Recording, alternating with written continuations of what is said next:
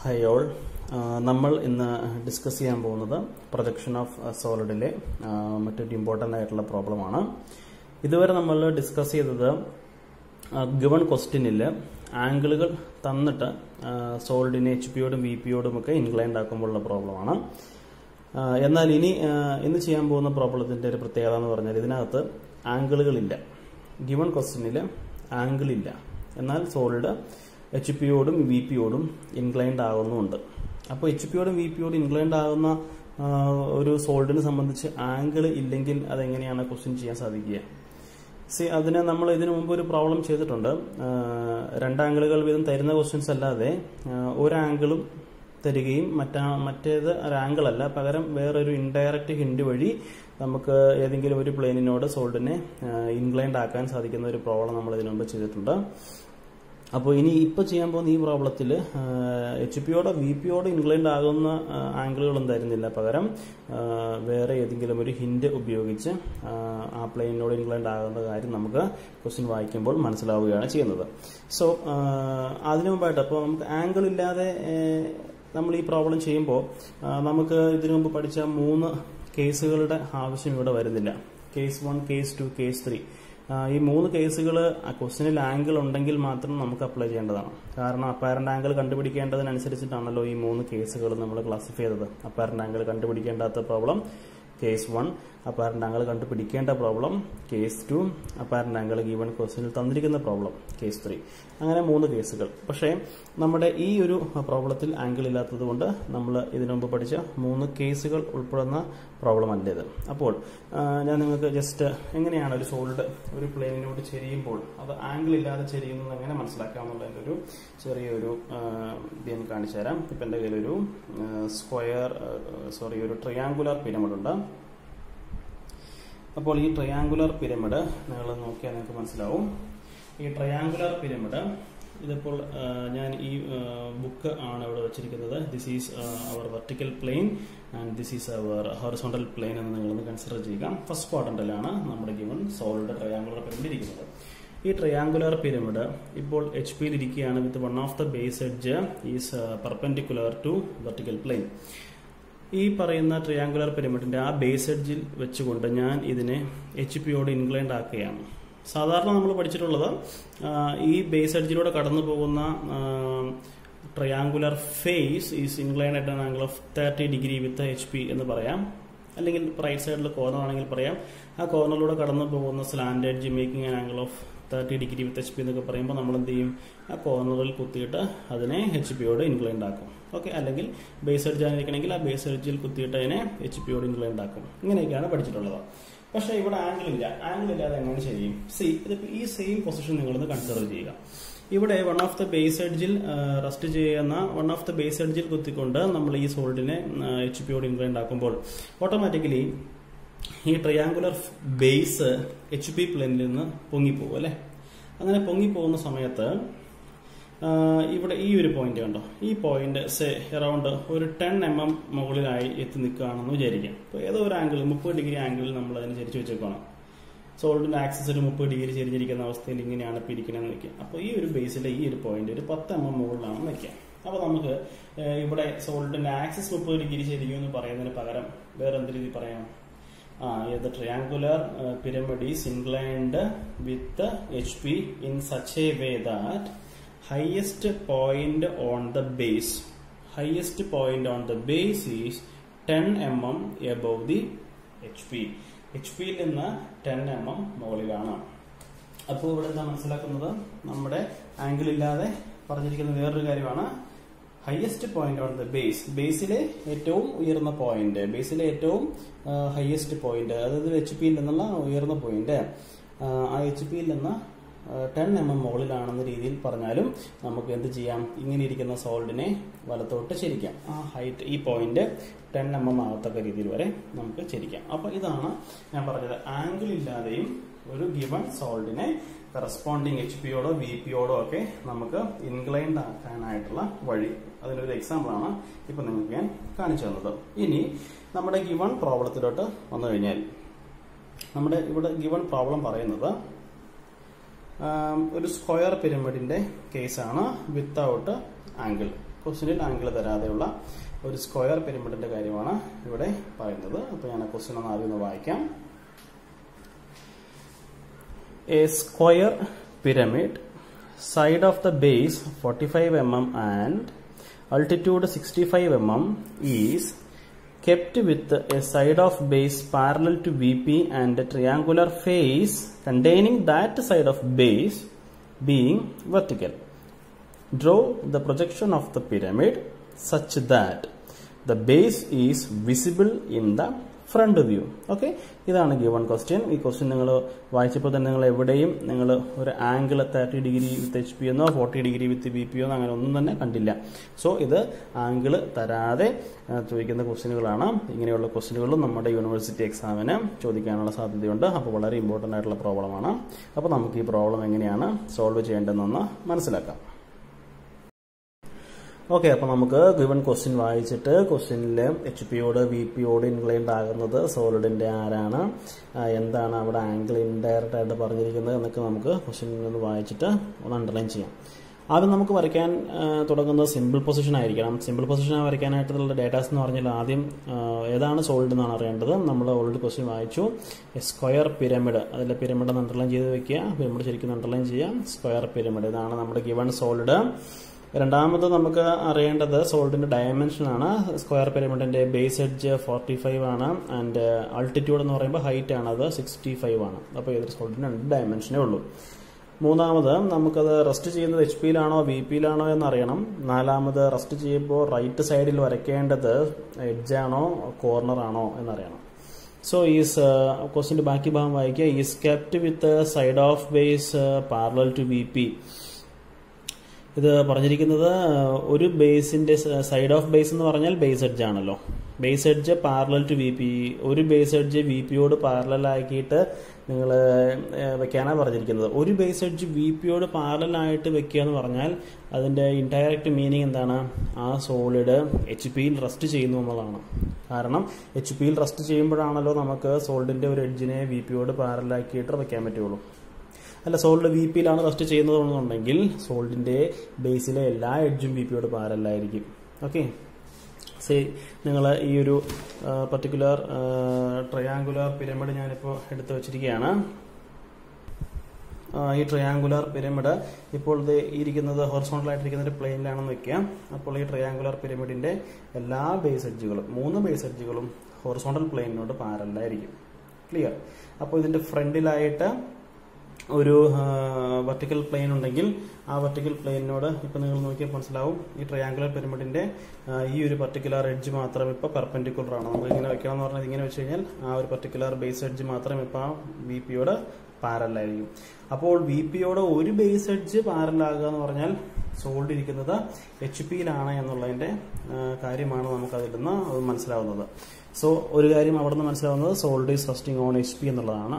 നാലാമത് നമുക്കറിയേണ്ടത് എച്ച് പിയിലാണ് ഗിവൺ സോൾഡ് ഇരിക്കുന്നതല്ലോ അപ്പോൾ നാലാമത് നമുക്ക് അറിയേണ്ടത് റൈറ്റ് സൈഡിൽ പറയേണ്ടത് എഡ്ജ് ആണോ കോർണർ ആണോ എന്നുള്ളതാണ്. സാധാരണ എല്ലാ ക്വസ്റ്റിനിലും അത് ആംഗിൾ വരുന്ന പ്രോബ്ലങ്ങളിലെല്ലാം resting on a corner on its base on H P എന്നോ അല്ലെങ്കിൽ base edge on H P എന്നൊക്കെ പറയാറുണ്ട്. പക്ഷെ ഇത് ആംഗിൾ ഇല്ലാത്ത പ്രോബ്ലം ആയതുകൊണ്ട് അങ്ങനെ ഡയറക്റ്റ് പറയില്ല. പകരം നമ്മൾ ഇതിലൊന്ന് മനസ്സിലാക്കിയെടുക്കേണ്ടത് എച്ച് പിയിലാണല്ലോ ഗിവൺ സോൾഡ് റെസ്റ്റ് ചെയ്യുന്നത്. അപ്പോൾ നമ്മൾ ഓൾറെഡി പഠിച്ചിട്ടുണ്ട് സോളിഡ് എച്ച് പിയിലാണെങ്കിൽ ആദ്യം എച്ച് പിയോട് ഇൻക്ലൈൻഡ് ആകണം വി പിയിലാണെങ്കിൽ ആദ്യം വി പിയോട് ഇൻക്ലൈൻഡ് ആകണം എച്ച് പിയോട് ഇൻക്ലൈൻഡ് ആകുന്നത് സോൾഡിന്റെ ആരാണ് എന്ന് നോക്കുക. അങ്ങനെ നോക്കുമ്പോൾ തന്നെ നമുക്ക് റൈറ്റ് സൈഡിൽ എഡ്ജ് ആണോ കോർണർ ആണോ വരേണ്ടതെന്ന് മനസ്സിലാവും. ഫോർ എക്സാമ്പിൾ ഇപ്പോൾ ഇത് ട്രയാങ്കുലർ പിരമിഡ് ആണ്. ട്രയാങ്കുലർ പിരമിഡ് ആണ് നമ്മുടെ ഗിവൺ ക്വസ്റ്റിലെ സോൾഡ് എന്ന് കൺസിഡർ ചെയ്യുക. അങ്ങനെ വരുമ്പോൾ ആ the triangular face one of the triangular face is making an angle of thirty degree with H P എന്ന് പറയുമ്പോൾ നമ്മൾ എന്ത് ചെയ്യും? ഈ റൈറ്റ് സൈഡിലുള്ള ട്രയാങ്കിൾ ഫേസിനെ ഒരു മുപ്പത് ഡിഗ്രി എച്ച് പിയോട് ഇങ്ങനെ ചെരിച്ച് വെക്കും അല്ലേ? ഇവിടെ നേരെ ഇരുന്ന ബേസിൽ ഇരുന്നതിനെ നമ്മൾ ഇങ്ങോട്ട് ചെരിക്കും. അതിന്റെ അർത്ഥം റൈറ്റ് സൈഡിൽ അപ്പം എന്ത് വരണം എന്നുള്ളതാണ്? ബേസ് എഡ്ജ് വരണം എന്നുള്ളതാണ്.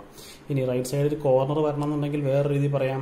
സ്ലാൻഡ് എഡ്ജ് കണ്ടേ slant of the given triangular pyramid making an angle of thirty degree with H P എന്ന് പറയുമ്പോൾ നമ്മൾ ഈ സ്ലാൻഡ് എഡ്ജിലൂടെ ഈ സ്ലാൻഡ് റൈറ്റ് സൈഡിലുള്ള കോർണർ കുത്തിയിട്ടാണല്ലോ ചിരിക്കേണ്ടത്. അപ്പോൾ റൈറ്റ് സൈഡ് വരുന്നത് കോർണർ ആയിരിക്കും. സാധാരണ ഗിവൺ ക്വസ്റ്റിൽ അങ്ങനെ തരാറുണ്ട്. പക്ഷേ ഇവിടെ അങ്ങനെ റെസ്റ്റിംഗ് ഓൺ എഡ്ജെന്നോ കോർണറെന്നോ പറഞ്ഞിട്ടില്ല. പകരം നമുക്ക് പറഞ്ഞിരിക്കുന്നത് and triangular face containing that side of the base is being vertical എന്നാണ് പറഞ്ഞിരിക്കുന്നത്. അതായത് ഓൾറെഡി വി പിയോട് ഏതോ ഒരു ബേസ് എഡ്ജ് പാരലാണ് ആ പറയുന്ന ബേസ് എഡ്ജിലൂടെ കടന്നു പോകുന്ന ട്രയാങ്കുലർ ഫേസ് എന്താണ്? എച്ച് പിയോട് ബീങ് വെർട്ടിക്കൽ എന്നാണ് അതായത് എച്ച് പിയോട് വെർട്ടിക്കൽ ആയിരിക്കണം എന്നാണ് പറഞ്ഞിരിക്കുന്നത്. ട്രയാങ്കുലർ ഫേസ് ബീങ് വെർട്ടിക്കൽ അപ്പോൾ എച്ച് പിയോട് അത് വെർട്ടിക്കൽ ആയിരിക്കണം. അപ്പോൾ നമ്മൾ കൺസിഡർ ചെയ്യുകയാണെങ്കിൽ ഈ പറയുന്ന ഗിവൺ സോൾഡിൽ നമ്മുടെ ഇപ്പോൾ കയ്യിലിരിക്കുന്നത് ഒരു ട്രയാങ്കുലർ പിരമിഡാണ് ട്രയാങ്കുലർ പിരമിഡിന്റെ കേസിൽ നമുക്ക് ഈ റൈറ്റ് സൈഡ് കിടക്കുന്നത് ഒരു ബേസ് എഡ്ജ് അതിലൂടെ കടന്നു പോകുന്ന ട്രയാങ്കുലർ ഫേസ് ഈ ട്രയാങ്കുലർ ഫേസ് സിമ്പിളി അത് എച്ച് പിയിൽ ഇരിക്കുന്ന സമയത്ത് ഏതൊരു പിരമിഡാണെങ്കിലും ആ ട്രയാങ്കുലർ ഫേസ് എച്ച് പിയോട് ഇൻക്ലൈൻഡ് ആയിരിക്കും. അതിനെ വെർട്ടിക്കലാക്കുക എന്ന് പറഞ്ഞാൽ ആ ബേ ആ പറയുന്ന നമ്മൾ ഇച്ചിരി മുമ്പ് പറഞ്ഞ പോലെ thirty degree with H P forty degree with H P എന്നൊക്കെ പറയുന്ന പോലെ ഈ triangular face making an angle of ninety degree with H pick indirect ആയിട്ട് പറയുന്നതാണ് ബീങ് വെർട്ടിക്കൽ എന്നുള്ളത്. സോ എച്ച് പിയോട് ട്രയാങ്കുലർ ഫേസ് മേക്ക് ചെയ്യുന്ന ആംഗിൾ അപ്പോൾ നമുക്ക് വേണമെങ്കിൽ കൺസിഡർ ചെയ്യാം. നയന്റി ഡിഗ്രിയാണ്. നയന്റി ഡിഗ്രി ആണെന്ന് കൺസിഡർ ചെയ്യാം. അപ്പോൾ എച്ച് പിയോട് മേക്ക് ചെയ്യുന്ന ആംഗിളാണെന്ന് മനസ്സിലായി. അപ്പോൾ ട്രയാങ്കുലർ ഫേസ് ആണ് ആംഗിൾ മേക്ക് ചെയ്യുന്നതെങ്കിൽ റൈറ്റ് സൈഡിൽ വരേണ്ടത് ഒരു എഡ്ജ് ആയിരിക്കണം. അപ്പോൾ ബേസ് എഡ്ജ് റൈറ്റ് സൈഡ് വരത്തക്ക രീതിയിൽ വേണം നിങ്ങൾ സിമ്പിൾ പൊസിഷൻ വരച്ചു തുടങ്ങാൻ. അപ്പോൾ സോൾഡിന്റെ പേര് സ്ക്വയർ പിരമിഡാണ് ഗിവൺ ക്വസ്റ്റ്യനിൽ dimension forty five sixty five right സൈഡിൽ വരേണ്ടത് ബേസ് എഡ്ജ് റെസ്റ്റ് ചെയ്യപ്പെടുന്നത് എച്ച് പിയുടെ പ്ലെയിനിൽ അപ്പോൾ നമുക്ക് സിമ്പിൾ പൊസിഷൻ വരയ്ക്കാം. സിമ്പിൾ പൊസിഷൻ വരച്ചതിന് ശേഷം റൈറ്റ് സൈഡിൽ ഇരിക്കുന്ന എഡ്ജിൽ റെസ്റ്റ് ചെയ്യിപ്പിച്ചുകൊണ്ട് സോൾഡിനെ സോൾഡിന്റെ ട്രയാങ്കുലർ ഫേസിനെ റൈറ്റ് സൈഡിലുള്ള ട്രയാങ്കുലർ ഫേസിനെ എന്താക്കി മാറ്റാം? Ninety degree with H P ആക്കി മാറ്റാം. ഓക്കെ ഓക്കെ അപ്പോൾ നമ്മൾ ഈ പറയുന്ന സിമ്പിൾ പൊസിഷനിൽ റൈറ്റ് സൈഡിൽ ബേസ് എഡ്ജ് വെച്ചിട്ട് നമ്മൾ സിമ്പിൾ പൊസിഷൻ വരയ്ക്കുന്നു. രണ്ടാം ഫസ്റ്റ് ഫ്രണ്ട് വ്യൂ ടോപ്പിയും വരച്ചു. അത് ഇനി നമുക്ക് ചെയ്യേണ്ടത് ഈ പറയുന്ന ട്രയാങ്കുലർ ഫേസ് റൈറ്റ് സൈഡിലുള്ള ഈ ട്രയാങ്കുലർ ഫേസ് എച്ച് പിയോട് വെർട്ടിക്കൽ ആകണം. എന്ന് പറഞ്ഞാൽ നയന്റി ഡിഗ്രി ആകത്തക്ക രീതിയിൽ നമ്മൾ എന്ത് ചെയ്യുന്നു? ഈ സോൾഡിനെ റൈറ്റ് സൈഡിലോട്ട് ഇൻക്ലൈൻ ചെയ്യിപ്പിക്കുന്നു. അങ്ങനെ ചെയ്യിപ്പിക്കുമ്പോൾ ഉള്ള ഫ്രണ്ട് വ്യൂ ടോപ്പി നമ്മൾ വരയ്ക്കുന്നു. പക്ഷേ നമ്മുടെ മുഴുവൻ ക്വസ്റ്റിൽ പറഞ്ഞിട്ടുണ്ട് ഏത് ഈ ട്രയാങ്കുലർ ഫേസിന്റെ ബോട്ടം ബേസിലുള്ള എഡ്ജ് വി പിയോട് പെർപെൻഡിക്കുലർ അല്ല പാരലൽ ആണ്. നമ്മളിപ്പോൾ വരയ്ക്കുന്ന സമയത്ത് ഈ എഡ്ജിനെ വി പിയോട് പെർപെൻഡിക്കുലർ ആക്കി വെച്ചിട്ടാണ് നമ്മൾ എന്ത് ചെയ്തത്? ഈ ട്രയാങ്കുലർ ഫേസ് വെർട്ടിക്കലാക്കിയത് അപ്പോൾ ആ പറയുന്ന എഡ്ജിനെ ഇനി വി പിയോട് പാരലൽ ആക്കണം എന്ന് പറഞ്ഞാൽ എന്താണ് മീനിങ് അടുത്ത സെറ്റ് ഓഫ് ആംഗിളും കിട്ടി. ആരാണ് ആംഗിൾ മേക്ക് ചെയ്യുന്നതും കിട്ടി അല്ലേ? സോൾഡിന്റെ ഈ ബേസ് എഡ്ജാണ് വി പിയോട് ആംഗിൾ മേക്ക് ചെയ്യുന്നത്. ആംഗിൾ മേക്ക് ചെയ്യുന്നത് എത്രയാണ്? ആംഗിൾ നയന്റി ഡിഗ്രി ആണോ സീറോ ഡിഗ്രി ആണോ ഇപ്പോൾ നിലവിൽ നയന്റി ഡിഗ്രിയാണ് ഇരിക്കുന്നത്. അത് ബി പിയോട് മേക്ക് ചെയ്യാൻ പോകുന്നതിന് എത്ര ഡിഗ്രിയാണ്? സീറോ ഡിഗ്രിയാണ്. സീറോ ഡിഗ്രി എന്ന് പറയുമ്പോൾ that base edge is parallel to B P ആയിട്ട് മാറും അപ്പോൾ നമ്മുടെ സിമ്പിൾ പൊസിഷനിൽ ഇരിക്കുന്ന സോൾഡിനെ ആദ്യം എച്ച് പിയോട് ഇൻക്ലൈൻഡ് ആക്കി ആ ട്രയാങ്കുലർ ഫേസിനെ വെർട്ടിക്കലാക്കി വെച്ചിട്ട് ദെൻ ആ ട്രയാങ്കുലർ ഫേസിന്റെ ബോട്ടം ബേസ് എഡ്ജിനെ വി പിയോട് പാരലാക്കി വി പിയോട് പാരലാക്കി വെക്കുന്ന സമയത്ത് നിങ്ങൾ ഫ്രണ്ടിൽ നിന്ന് നോക്കിക്കഴിഞ്ഞാൽ ബേസ് വിൽ ബി വിസിബിൾ ഇതിപ്പോൾ ക്യാമറ ഒരു ഹൈറ്റിൽ നിൽക്കുന്നതുകൊണ്ടാണ് നമുക്ക് അടിഭാഗത്തുള്ള ബേസിനെ കാണാൻ പറ്റാതെ പോകുന്നത്. നമുക്ക് ഈ ബേസിനെ ഫ്രണ്ടിൽ നോക്കുമ്പോൾ ഹൈറ്റ് താഴെ ഭാഗത്ത് നോക്കിക്കഴിഞ്ഞാൽ ക്ലിയർ ആയിട്ട് ബേസിനെ കാണാൻ പറ്റും. അതാണ് നമ്മുടെ ഗിവൺ ക്വസ്റ്റ്യന്റെ ഏറ്റവും താഴെ പറഞ്ഞിരിക്കുന്നത്. That draw the projection of the pyramid such that base is visible in the front view അപ്പോൾ നമുക്ക് ഫ്രണ്ടിൽ നോക്കി കഴിഞ്ഞിട്ടുണ്ടെങ്കിൽ ബേസിനെ കാണാൻ പറ്റുന്ന രീതിയിൽ വേണം നമ്മൾ അവസാനം ഡ്രോയിങ്സ് വരയ്ക്കാൻ. സോ അപ്പോൾ നമുക്ക് ഇപ്പോൾ നിലവിൽ എന്താണ് നമ്മുടെ ഗിവൺ സ്ക്വയർ പിരമിഡിന്റെ സംഭവിക്കുന്നത് മനസ്സിലായി. ഇപ്പോൾ നമ്മൾ ട്രയാങ്കുലർ പിരമിഡ് വെച്ചിട്ടാണ് അത് കാണിച്ചിരിക്കുന്നത്.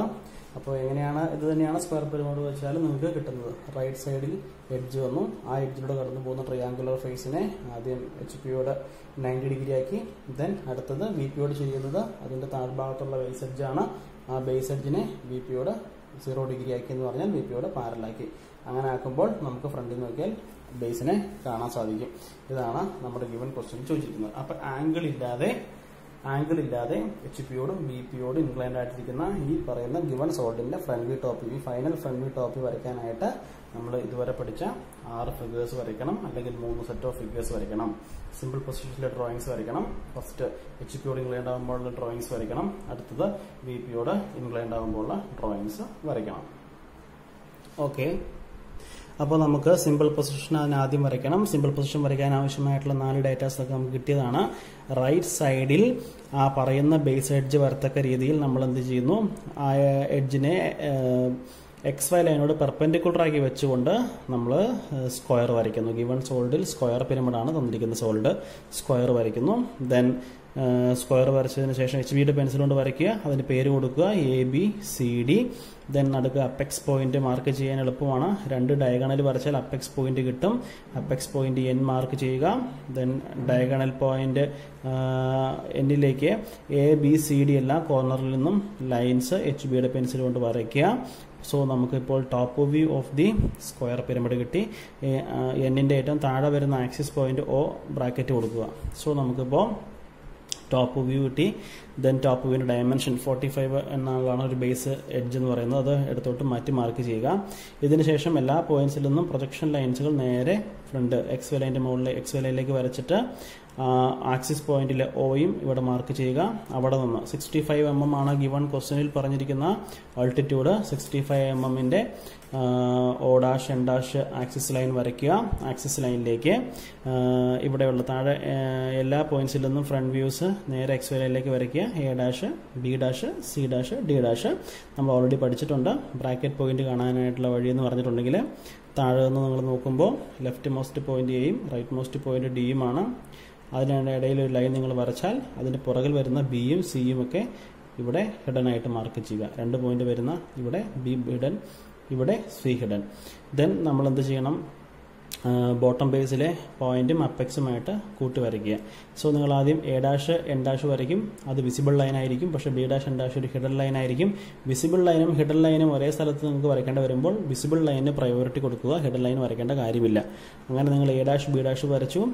ഈ ലൈൻ നിങ്ങൾ A dash N dash line നിങ്ങൾ വിസിബിൾ വരച്ചു. അതേ അവസ്ഥ തന്നെയാണ് C dash N dash line വരയ്ക്കുമ്പോഴും. C dash N dash line ഒരു ഹിഡൻ ലൈനാണ് വരയ്ക്കേണ്ടിരുന്നത് അത് കഴിഞ്ഞ ശേഷം അവിടെ ഡി ഡാഷ് എൻ ഡാഷിന്റെ വിസിബിൾ ലൈൻ വരയ്ക്കുമ്പോൾ ഹെഡ് ലൈൻ കാണാതെ പോവുകയും വിസിബിൾ ലൈനിന്റെ പ്രൈവറ്റ് എടുത്ത് വരയ്ക്കുകയും ചെയ്യാം. സോ നിങ്ങൾക്ക് ഇപ്പോൾ ഫ്രണ്ട് വ്യൂ കിട്ടി ബേസിലെ പോയിന്റ്സ് എല്ലാം കൂട്ടി വരയ്ക്കുക. എല്ലാം കറക്റ്റായിട്ട് വരച്ച് നിങ്ങൾക്ക് ഫ്രണ്ട് വ്യൂ കിട്ടി. Dimension sixty five M left സൈഡിലോട്ട് മാർക്ക് ചെയ്യുക. സോ നമ്മൾ സിമ്പിൾ പൊസിഷൻ വരയ്ക്കുക എന്ന് പറഞ്ഞാൽ ഇവിടെ വളരെ എളുപ്പമാണ്. ഇവിടെ നമുക്ക് മനസ്സിലാക്കേണ്ടത് ഈ പറയുന്ന ടോപ്പിൽ തന്നെ നോക്കുമ്പോൾ നമുക്ക് മനസ്സിലാകും ഈ റൈറ്റ് സൈഡ് കിടക്കുന്നത് ട്രയാങ്കുലർ ഫേസ് നമുക്ക് എച്ച് പിയോടാണ് ഇനി ചരിക്കേണ്ടത്. എച്ച് പിയോടാണ് ട്രയാങ്കുലർ ഫേസ് ചെരിയേണ്ടത്. ആ ട്രയാങ്കുലർ ഫേസ് എന്ന് പറയുന്നത് റൈറ്റ് സൈഡിൽ കിടക്കുന്ന സി എൻ ഡി എന്ന് പറയുന്ന ഈ ട്രയാങ്കുലർ ഫേസ് ആണ്. ഈ ട്രയാങ്കുലർ ഫേസ് ആണ് നമുക്ക് ഇനി എച്ച് പിയോട് ചെയ്യേണ്ടത് ഫ്രണ്ട് വ്യൂ നമ്മൾ നോക്കിക്കഴിഞ്ഞാൽ ഈ സി എൻ ഡി എന്ന് പറയുന്ന triangular face C dash N dash D dash ഈ പറയുന്ന ഇൻക്ലൈൻഡ് ലൈനായിട്ടാണ് നമുക്ക് തോന്നുക ഫ്രണ്ട് വ്യൂവിൽ സോ നമ്മളപ്പോൾ എന്താ ചെയ്യേണ്ടത്? ഈ ലൈൻ നോക്കൂ ഓൾറെഡി എച്ച് പിയോട് ചെരിഞ്ഞിരിക്കുകയാണല്ലോ. ആ ലൈൻ എന്ത് ചെയ്യുക? എച്ച് പിയോട് നയന്റി ഡിഗ്രി ആക്കുക. നയന്റി ഡിഗ്രി എച്ച് പിയോട് ആക്കി വരയ്ക്കുക. സോ എന്ത് ചെയ്യുക? ആദ്യം നമ്മൾ എന്ത് ചെയ്യുന്നു? ഈ സി ഡാഷിനെ എടുത്ത് ഇവിടെ മാറ്റി മാർക്ക് ചെയ്ത് C one dash bracket D one dash രണ്ട് പോയിന്റ് ഒരേ സമയം മാർക്ക് ചെയ്യുക. ദെൻ ഇവിടെ മുതൽ ഇവിടം വരെയുള്ള ഡിസ്റ്റൻസ് എടുത്ത് വെർട്ടിക്കൽ ലൈൻ വരയ്ക്കുക. എൻ വൺ ഡാഷ് ഒന്ന് മാർക്ക് ചെയ്യുക. ദെൻ നമുക്ക് മൂന്നാമത്തെ പോയിന്റ് കാണുന്നത് എങ്ങനെയാണ്? സിയിൽ നിന്ന് എയിലേക്കുള്ള ഡിസ്റ്റൻസ് എടുത്ത് കോമ്പസിലെടുക്കുക ഇവിടെ കുത്തി ആർക്ക് വരയ്ക്കുക. എന്നിൽ നിന്ന് എയിലേക്കുള്ള ഡിസ്റ്റൻസ് എടുക്കുക.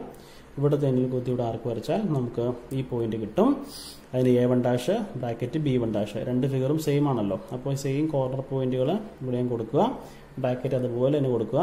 ദെൻ ഈ ട്രയാങ്കിൾ കൺസ്ട്രക്ട് ചെയ്യുക.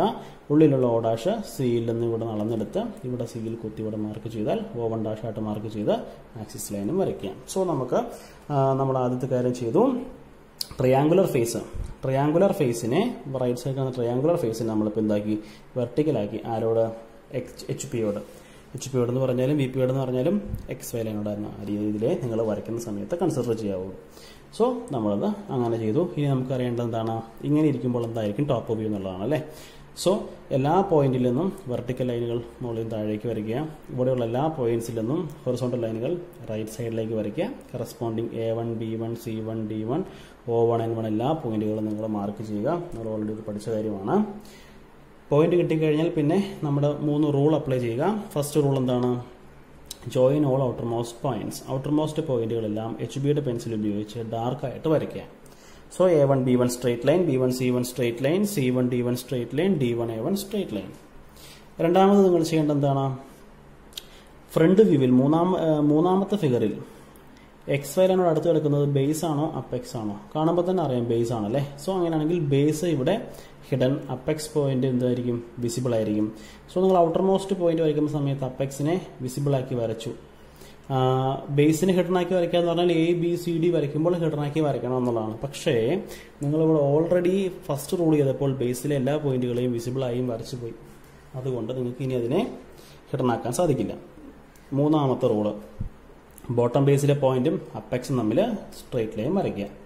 അപ്പോൾ bottom Basil A one with N one straight line ഇത് വിസിബിൾ പോയിന്റ് ആയതുകൊണ്ട് straight line B one with N one straight line C one N one D one N one നമ്മൾ rule one ചെയ്തപ്പോൾ വരച്ചു കഴിഞ്ഞതാണ്.